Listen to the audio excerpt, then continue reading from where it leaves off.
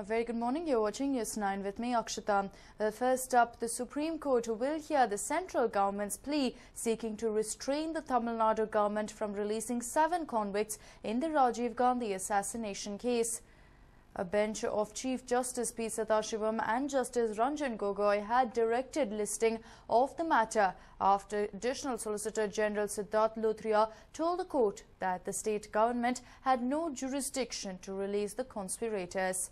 The central government has sought the stay of the state government's decision to grant remission to the seven convicts in the Rajiv Gandhi assassination case and communication to that effect by the state chief secretary.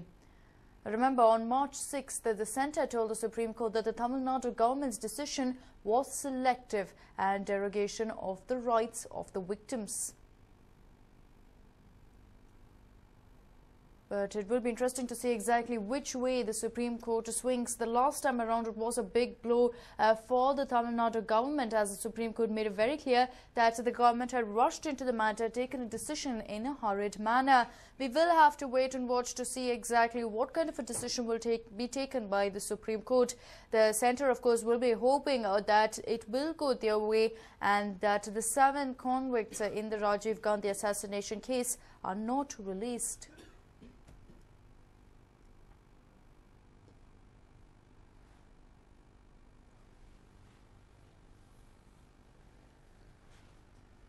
Well, it is expected that the plea will be taken up for hearing uh, in uh, some time from now. And uh, of course, uh, more importantly, uh, the Rajiv Gandhi killers will be watching this very, very carefully. Remember, they got a huge breather when uh, their death sentence was commuted to a lifer. And soon after, it is said that now the Supreme Court may decide to go against releasing them as well. The Supreme Court had earlier, when it made that judgment in January, had clearly stated that it will be up to the state government to decide if the convicts can be released or not. Within a matter of 24 hours, Jayalalitha convened a special cabinet meeting and announced their release. This did not go down too well with the centre and they have gone ahead and challenged it in the legal manner.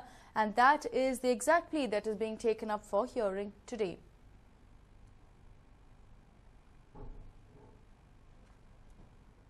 Well, the election season is upon us and politicians are doing all they can to garner as much votes and spread their popularity ahead of the voting. Let's take a look at all the political updates from across the country and the state.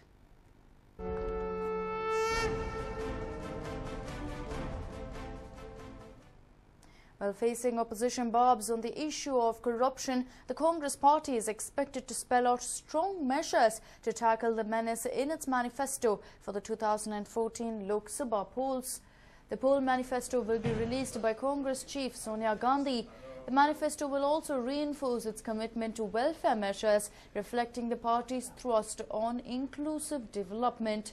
Sonia Gandhi will release the document at a function at the AICC headquarters at around 1 p.m. in the presence of top party leaders including Prime Minister Manmohan Singh and party Vice President Rahul Gandhi.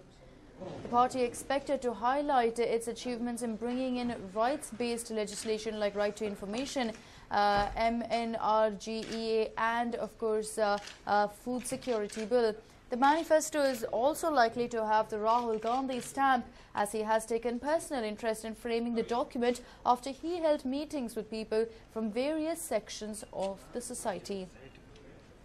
Well, any time today we can expect the manifesto to be released by Sonia Gandhi Prime Minister as well as Rahul Gandhi. It is of course expected to target the youth as well to a greater extent besides going ahead and meting out populist measures and uh, uh, some sort of freebies and goodies for the farming community as well as the poverty stricken.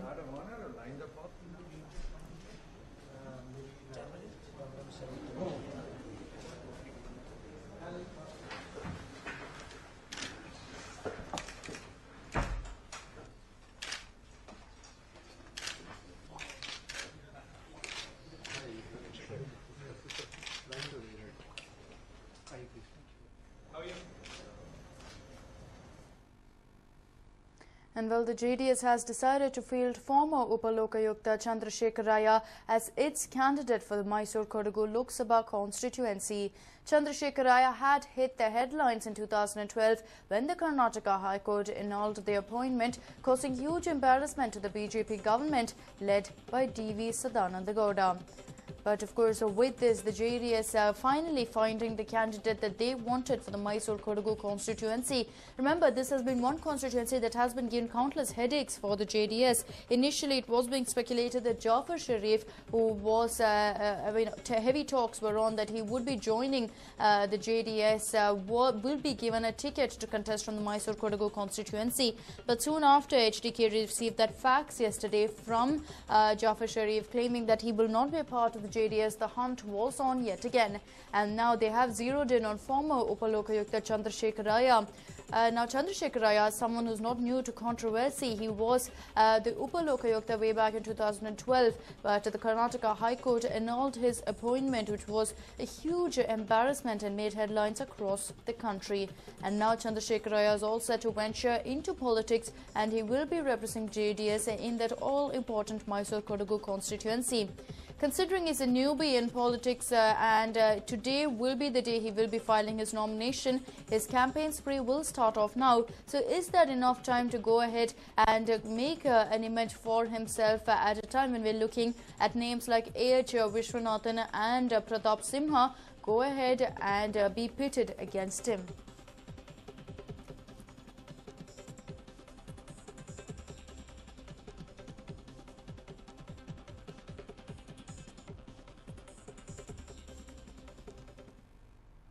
Former Chief Minister H.D. Kumaraswamy will be filing his nomination for the Chikbalapura Lok Sabha constituency today at 12.15 pm. The inauspicious Rahu Kala begins at 12.20 and hence HDK's plan is to file the paper at 12.15 pm. Meanwhile, elaborate puja preparations have been planned. These include puja at Nandigrama Bogi Nandeshwara temple and Veeranjanaya temple. A host of prominent politicos, including Mandya MP Ramya, former Labour Minister Bache Gowda, besides Sriramulu, the confidant of Reddy brothers, will be filing their papers today. Ramya, meanwhile, offered special pujas at the Chamundeshwari temple. But considering, of course, that it is the last day of nominations, we are looking at all the big leaders of every party scurrying to go ahead and file their papers. Uh, of course, uh, we are looking at Ramya, who was expected to file it on the 24th, will be filing it today in a matter of time. As of now, uh, she did visit Mysore at the Chamundeshwari temple to go ahead and seek the Lord's blessing before she went ahead and filed her papers.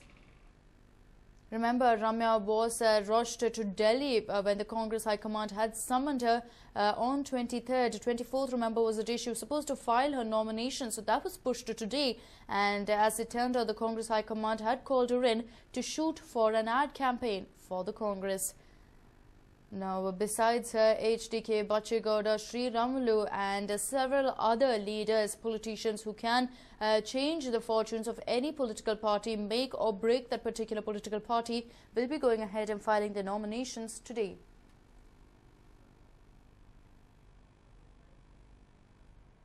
Well, will the Election Commission relent on this? The UPA government is waiting and watching as to what the EC will say with regard to its plans to announce a modest 1.25 rupees per litre reduction in petrol prices. The decision has already got the nod of the Union Cabinet, but the government is running worried as the EC stepped in and disallowed the hike in natural gas prices. Natural gas prices were all set to go up effective April 1st, but the EC cited the Model Code of Conduct and spiked the proposal. Now, considering that that did not go in the UPA's favor, the question is, will their plans of uh, natural gas price hike and reduction go down the drain as well. The Election uh, Commission is expected to take a call on this soon, but the Union Cabinet is worried as they had approved a reduction in petrol prices and an increase of diesel prices. But will that happen? Well, we'll only have to wait and watch. But considering that the Election Commission did state that a gas price hike was against the poll code of conduct, in all likelihood, they will stall this measure as well.